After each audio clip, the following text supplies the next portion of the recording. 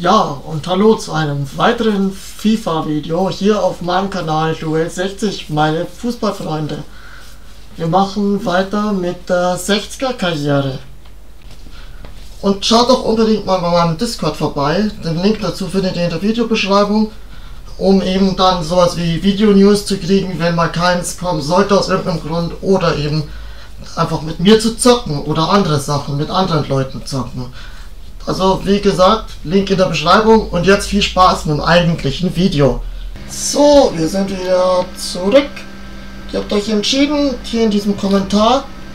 Wir werden zum einen den guten alten, wo haben wir ihn, den Niklas Wilson Sommer verkaufen.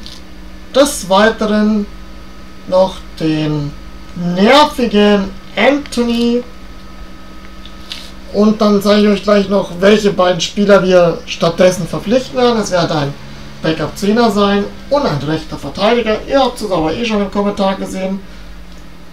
Ihr seht es jetzt gleich auch noch hier im Spiel, die Spieler. Also hier nochmal die beiden neuen Spieler. Hugo Sique, denke ich mal, spricht man das aus, als neuer Stamm-RV. Und Matthäus Pereira als ZOM Backup. Ich hoffe einfach, dass der Kollege nicht allzu teuer sein wird, da der hier schon 40 Millionen kostet, wir nur, 6, nur in Anführungszeichen 46 Millionen haben, beziehungsweise 47. Ich habe mich jetzt auch entschieden, wegen dem Turnierfinale, ich werde wieder spielen, aber ihr werdet es wieder nicht sehen, sondern äh, dann nur, ob ich gewinne oder nicht. Und die richtigen Spiele dann in der Liga, die werde ich euch dann wieder natürlich komplett zeigen. Nur damit ihr in der Hinsicht auch Bescheid wisst. Damit wir da nicht irgendwie unnötig Zeit verplempern in der Transferphase mit dem Vorbereitungsturnier. Die Ergebnisse werdet ihr sehen, aber halt nicht, wie es zustande kommt. Wir treffen uns nach dem Spiel gegen West Ham, außer es sollte bis dahin noch ein Transfer Also Mangala ist jetzt ausgeliehen und jetzt gibt es noch eine ja, Bestätigung für Kuros dabei, aber dadurch, dass wir jetzt halt eigentlich kein weiteres Loch bauen wollen, werde ich das ablehnen. Dasselbe gilt für Hübers, weil wir da auch kein Loch bauen wollen.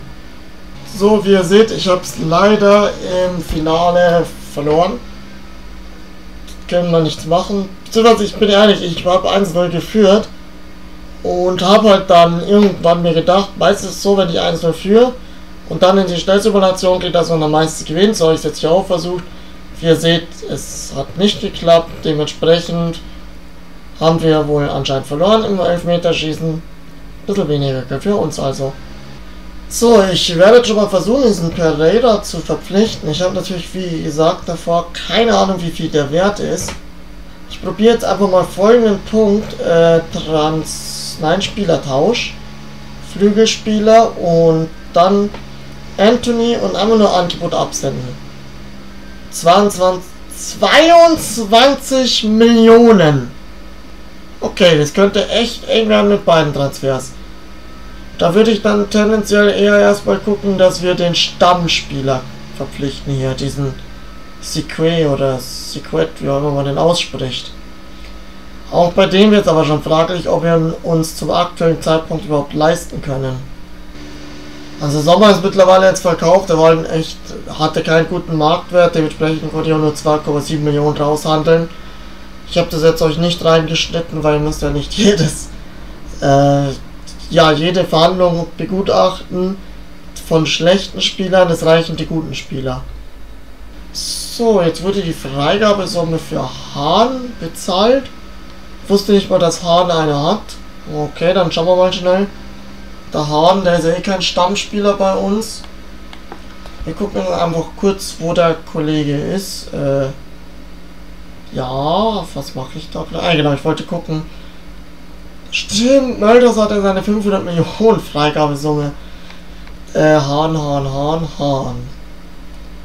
Äh, nee, da will ich das jetzt aber eigentlich nicht, Kumpel. Da verhandeln wir mal kurz. Ich werde eigentlich delegieren, aber naja, verhandeln wir selber. Ich werde jetzt seine Freigabesumme wegmachen oder höher machen. Wenn er 17 Millionen wert ist, dann will ich schon so 20, äh, 30, 40 Millionen. Mille. Der kriegt weiter nur ein Jahr, wichtig nur im Kader, Freigabesumme, machen wir mal 50 Mille oder ja doch 50. Das ist wahrscheinlich zu 40 geht in Ordnung. 40,8. Wenn die jemand zahlt, dann gerne. Äh, Vertragssituation, äh, ja, machen wir 30.000, kriegst du eine Gehaltserhöhung sogar. Siehst du, Hahn, hat sich doch gelohnt für dich. Hey, und Möllers hat die 91 mittlerweile. Er hat diesmal wieder Schmidt überholt. Finde ich cool. So, wir haben jetzt auch schon den Scouting-Bericht für Pereira. 17,5 und eine 80er Gesamtstärke. Ja, gucken wir mal, ob wir ihn verpflichten können oder nicht. Aber ich würde mich jetzt erstmal auf den Kollegen, was wollen die jetzt von Batsunu? Auf den Kollegen Rechtsverteidiger konzentrieren. Für Anthony wir einfach kein Transferangebot. Ihr seht auch schon, wir sind schon ziemlich nah am ersten Spiel.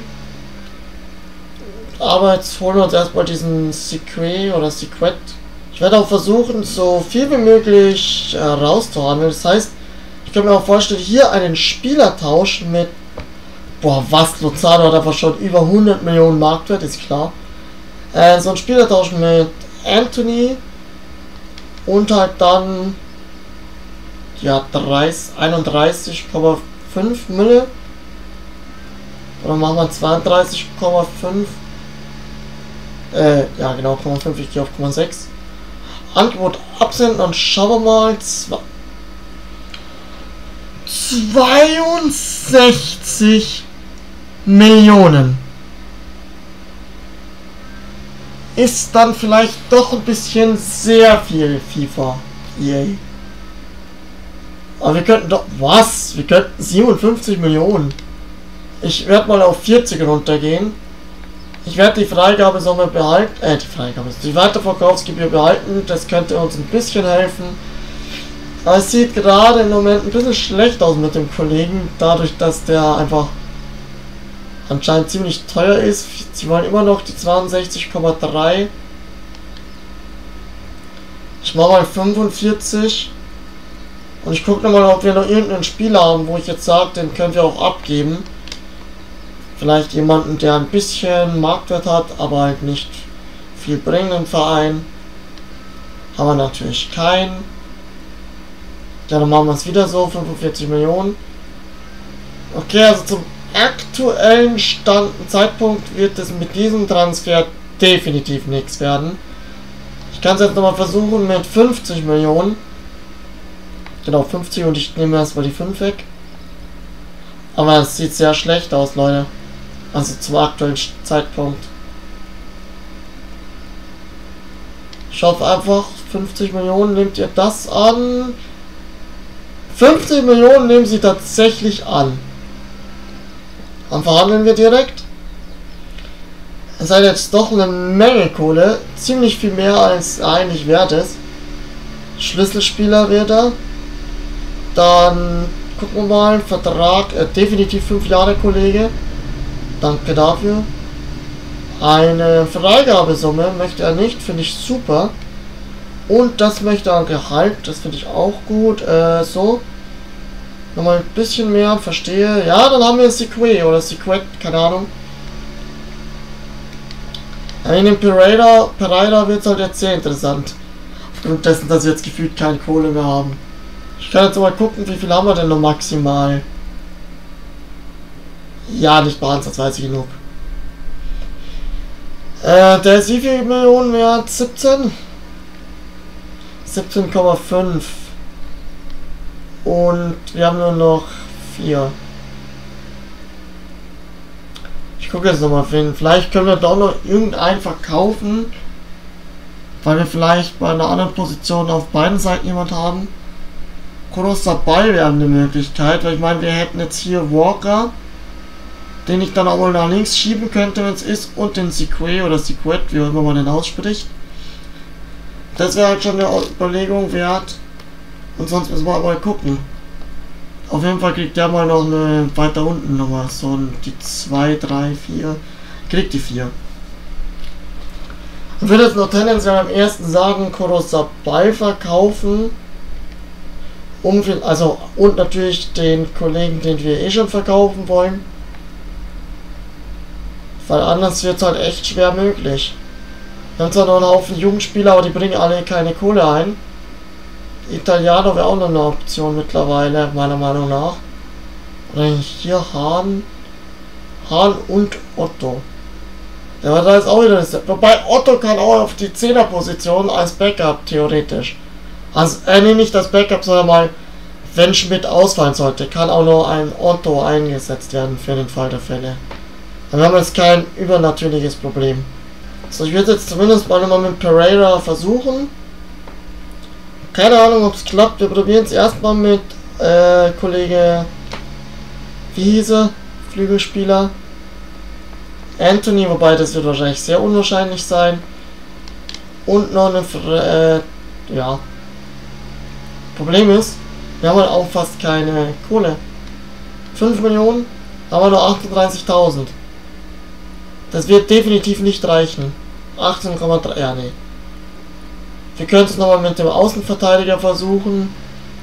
Curtis Walker werft marktwerttechnisch gleich auf. Also das wäre noch eine Option. Das probiere ich jetzt nochmal mit 4 Millionen dazu. Marktwert passend plus 4 Millionen. Ich habe keine Ahnung, ob die so schlau sind und das annehmen. Natürlich nicht. Sorry Gamer Car, fürs erste wird mit Pereira definitiv nichts. Wir können auch wirklich, wenn sie es auch einfach mit Otto es machen, dass der der Backup ZOM wird, also nicht der komplette Backup, aber eben wenn mal der andere ausfällt, dann kann auch ein Otto auf 10 spielen und hat dann ein Hahn auf Außen. Und fürs erste wird es definitiv nichts werden mit äh, dem Pereira. Und das war's dann tatsächlich trotzdem auch schon mit der heutigen Folge. Ich werde das Spiel gegen Schalke erst in der nächsten Folge machen. Für euch gibt es nur noch die Abstimmung. Freiburg oder Union. Schalke wird selbst gezockt, ist mal wieder das Startgame quasi in die neue Saison. Und halt dann Freiburg, Union und ich würde sogar dann schon noch Bochum mit in den Eimer werfen. Äh, nicht in den Eimer, mit in den Topf. Also quasi Freiburg, Union und Bochum, damit ihr auch mal wieder was zum Abstimmen habt. Das war's dann mit der heutigen, wahrscheinlich sehr kurzen Folge. Ich hoffe trotzdem, dass es euch gefallen hat. Und bis dahin sage ich dann trotzdem erstmal Ciao. Bis zum nächsten Mal.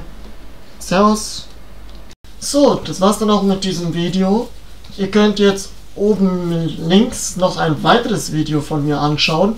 Unten links die aktuelle Playlist zu diesem Projekt FIFA 22 60er Karriere anschauen.